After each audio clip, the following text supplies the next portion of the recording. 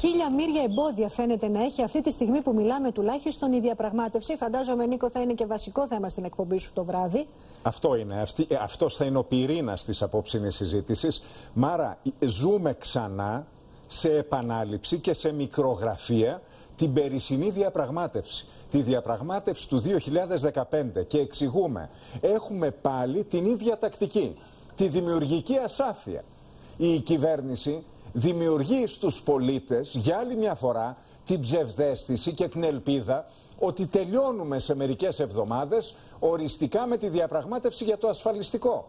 Κάθε τόσο έχουμε διαρροές από κυβερνητικές πηγές που λένε ότι οι εταίροι μας, οι δανειστές μας συμφωνούν με την κυβερνητική πρόταση ή εν πάση περιπτώσει είναι πολύ κοντά σε αυτό. Ε, λοιπόν αυτό δεν είναι αλήθεια. Ε, ακούσατε στο ρεπορτάζ ότι λένε ήδη οι εκπρόσωποι της ε, Τρόικας, του κουαρτέτου όπως το λέμε πλέον, ότι άλλα μας ζήτησαν και άλλα εμφανίσαμε. Ζήτησαν να μαζέψουμε κατά 1,8 δισεκατομμύρια ευρώ τη δαπάνη για τα ασφαλιστικά ταμεία. Και προφανώς αυτό που, το, που τους στείλαμε δεν καλύπτει ούτε καν ένα μικρό ποσοστό από τα χρήματα αυτά. Γι' αυτό και είπαν ότι ζητήσαμε αγελάδα και μας έστειλαν γάτα.